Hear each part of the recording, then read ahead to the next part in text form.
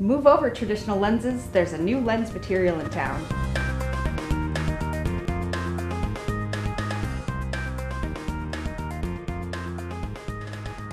Hello, I'm Justine Murphy, and this is Light Matters for June 27th, 2016. Thanks for joining us.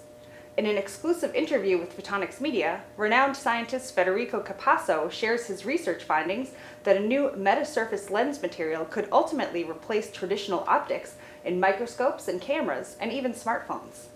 The new lens is easily manufactured and able to produce great images, he says, and could change the field of optics as we know it.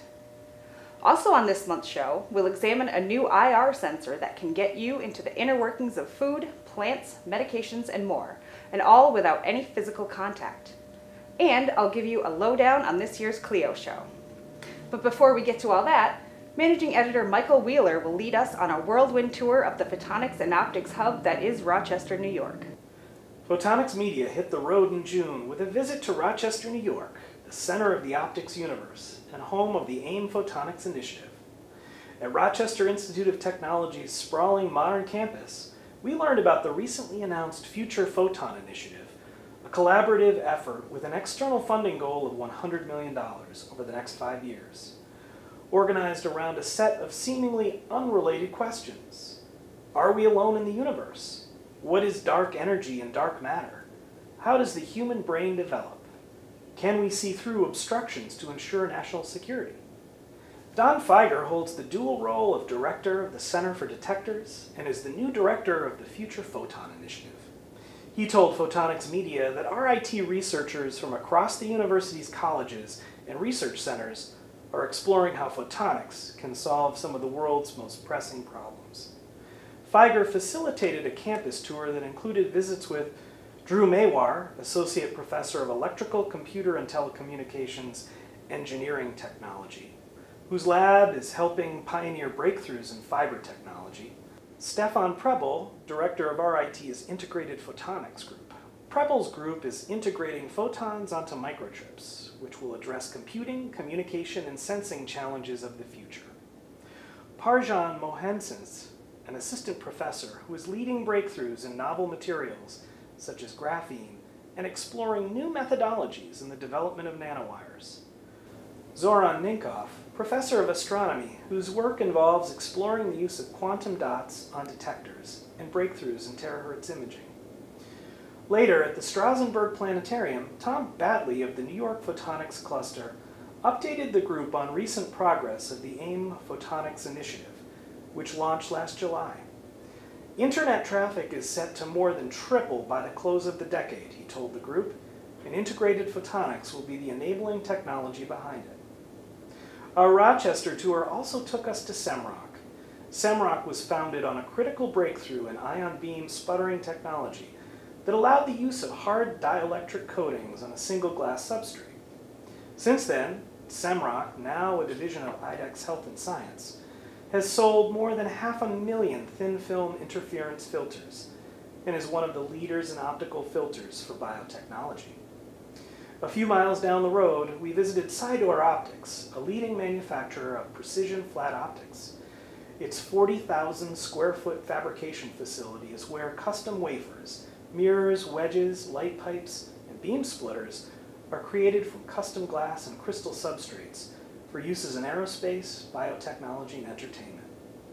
Our thanks to everyone who helped organize and present these wonderful opportunities. That brings us to a question. Where might we go next on our travels? Feel free to offer us your suggestions via our Facebook page or Twitter. There's a new IR optical sensor in town, and there's already a backlog of people waiting to get their hands on it.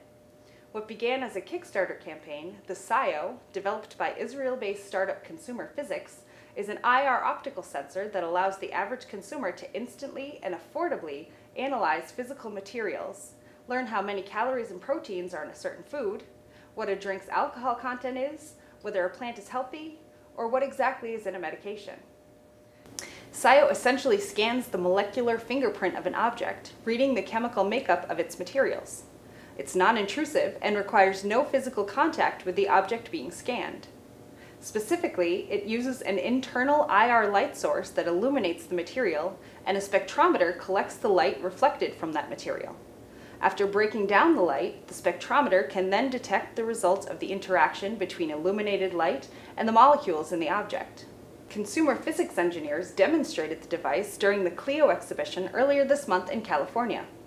It's very simple to use, too.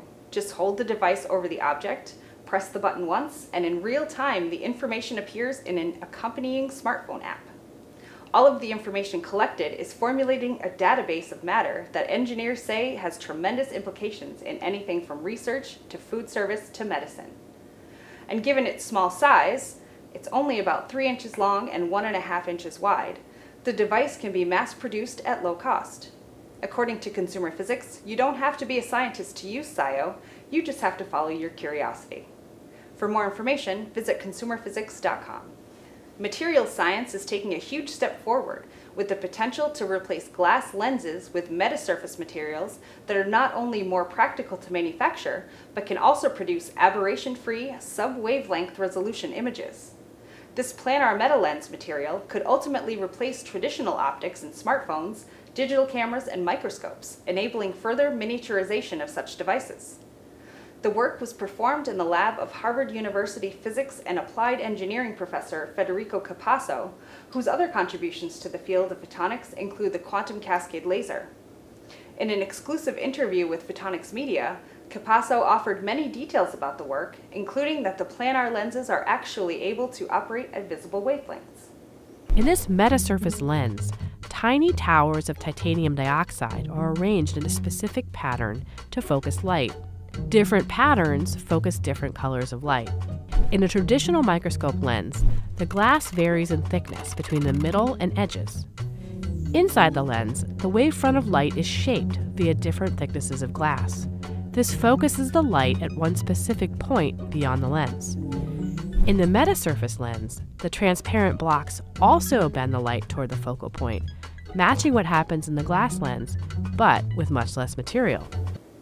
The MetaLens building blocks are about 600 nanometers in length and have achieved the same resolution and magnification as a traditional glass lens that is 5 to 6 centimeters long. According to Capasso, production of the planar lenses may become highly cost effective. They could also be fabricated in much the same way as integrated circuits and do not require the polishing or complicated post-processing steps that glass optics do. The Conference on Lasers and Electro-Optics, or CLEO, went off without a hitch earlier this month in sunny San Jose, California, and Photonics Media was there. A highlight of the week was the Technology Transfer Program. Photonics Media was proud once again to be the event's media sponsor. It gave startups the chance to hear from established companies such as KM Labs and learn some best practices for taking innovations from the lab to the marketplace.